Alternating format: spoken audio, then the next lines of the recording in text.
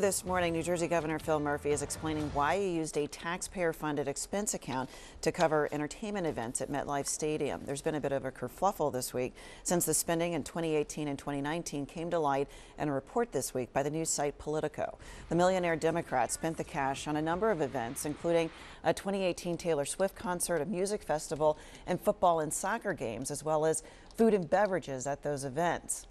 A Murphy spokesperson explains the Democratic State Committee was expected to cover the cost, but when that didn't happen, Murphy used his gubernatorial expense account. That was a violation since that account is expressly just for official events and costs. The state committee says internal snafus caused them to miss the invoices and that they will reimburse the costs.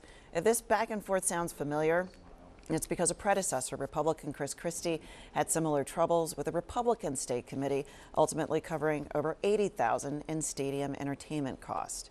The New York Times is reporting that New Jersey's First Lady Tammy Murphy is gearing up for a run to seek the Democratic nomination for U.S. Senate, mounting a primary challenge to incumbent Senator Bob Menendez.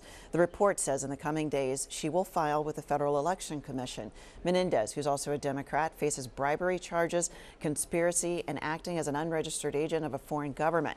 He has not yet announced reelection plans, but has defiantly refused to step down and resign, suggesting he may well intend to try to hold the seat.